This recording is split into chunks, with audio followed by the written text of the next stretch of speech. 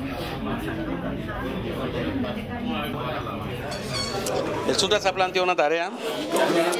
como línea de trabajo de su directiva.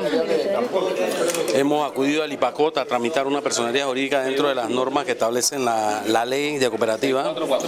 y hemos logrado la personalidad jurídica. Ahora, en perspectiva, lo que corresponde es que esta cooperativa inicie sus labores y empiece a desarrollarse como una cooperativa sólida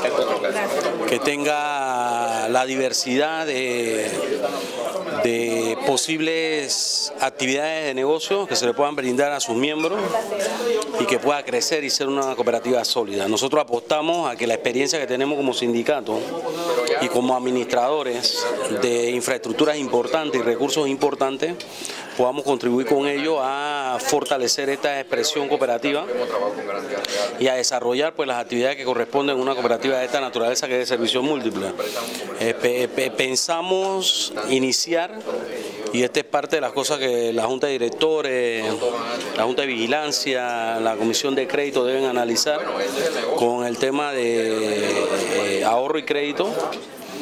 y abrir las otras líneas que podamos analizar, que hemos planteado como materiales de construcción, en préstamos y demás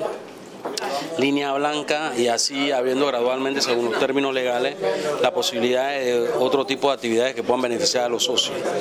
Y esperamos que los trabajadores de la construcción apoyen esta iniciativa y se afilien masivamente y pues pongan sus recursos en función de esta cooperativa y podamos hacer una de las cooperativas que sea importante en el país y a lo mejor alcanzamos a ser importante en Latinoamérica.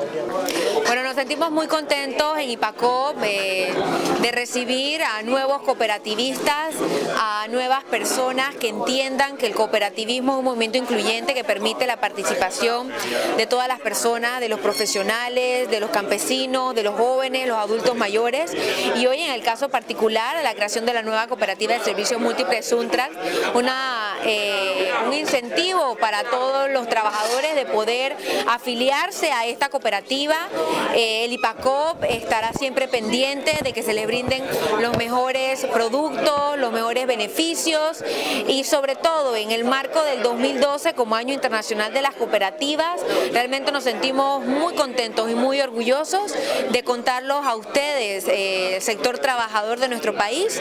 con la formación de esta nueva cooperativa de servicios múltiples. Al presidente de la Junta de Directores de la Cooperativa de Servicios Múltiples Señor Saúl Méndez.